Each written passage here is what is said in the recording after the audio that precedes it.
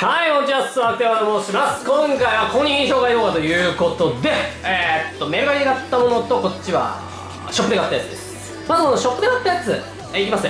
これ。スーニンゲルス君、悪落ちしたよね。確か、幼馴染の男の子、逆恨みで、だいぶ攻撃してたよね。で、妹を、機械で改造してたよね。まあ、U ターンなって話ですけど。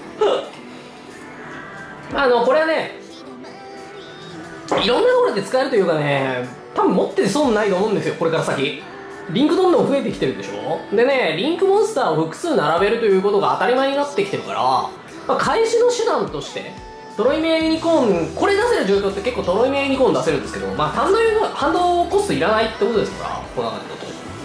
まあ持ってていいんじゃないかなていうか単純に足りなかった。足らなかった。でこれえー、いやそうあ FA ライトニングマスターまさか FA がさあの汎用カードになると思わなかったよね。こいつレベル7の性能じゃねえもん。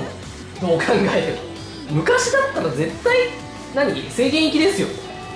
昔だったらね。はい次これ。ラスト。これなんだっけ？全然覚えてないん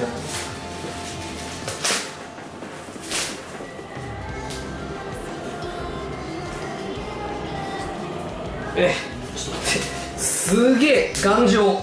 やばい。ほら。え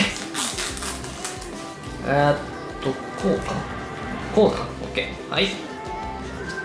ああ3枚ああ思い出した思い出した。はい。いきますね。ほい。増殖するで3枚レア。3枚レア。3枚セット。まあねあのなんかねこれさあの再録する再録するって言われてるじゃないですか。だから買わなかったんですよ今まで。全然足りないあの僕デッキ5個作ってるんですけどそのうちの1つが、まあ、増値足らなくて、まあ、プロキシ使ったり入れ替えしてたんですけどもうすんげえ面倒くさくなったんで、まあ、せっかくでし買おうかなと思ってたんですけど、まあ、再録近くに出るがいいかなと思ってたらまあ全然出なくて。これ年末あたりに出たら俺切れるからね 再録で。まあせっかくでスーパーレアで買おうかなっていうことで買ってみました。はい。以上になります。えー、っとね汎用カードね、まあ、ちょっと集めるのは僕の悪い癖なんだけど、まあ、スーパーレア持ってたからね。なんで売っちゃったかな俺バカか俺は。はい。バクテリでした。また次の動画でお会いしましょう。バイバイ。ラオ。